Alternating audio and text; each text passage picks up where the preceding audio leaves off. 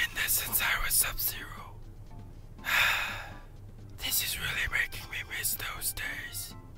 I feel so nostalgic. Hey!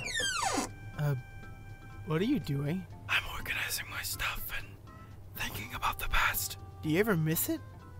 You know, being alive? Damn. Low blow, man. What? I'm being genuine. I just wish there was a way for me to break free of my state and become human again. Yeah. Wait, I think I have an idea. Wait here. Okay. Okay, are you finally ready? What the hell is this? It's a transmutation circle. What's that? It's what we're going to use to bring my body back.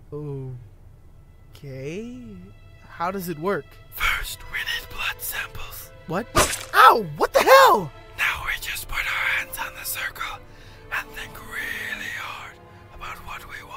Which is your body back, right? Yep. What?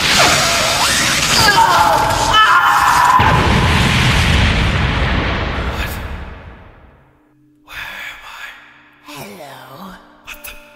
Who the hell are you? I am one of many names. I am the truth. I am God. Is this. Is this a dream? Am I high? You sought out your true body, and for it you committed alchemy's greatest taboo. Okay, but did it work? Wait. Where's Tomas? Hmm? Tomas, the guy I came here with. You mean your sacrifice. What? In order to obtain something of equal value must be lost.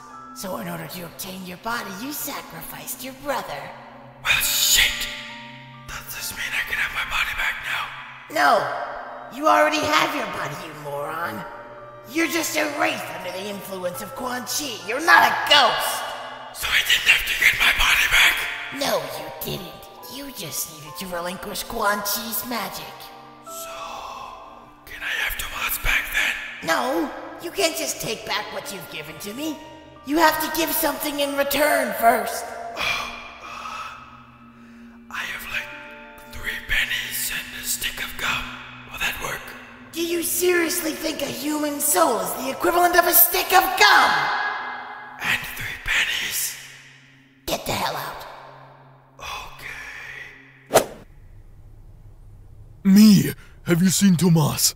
I've been looking for him everywhere and I can't find him. So, about that. What? What did you do? Hypothetically speaking, if I were to have sacrificed him to God and couldn't get him back, how would you react? What? So let's just say it wasn't hypothetical. Hypothetically speaking, of course. Did you sacrifice him to God? Maybe. How the?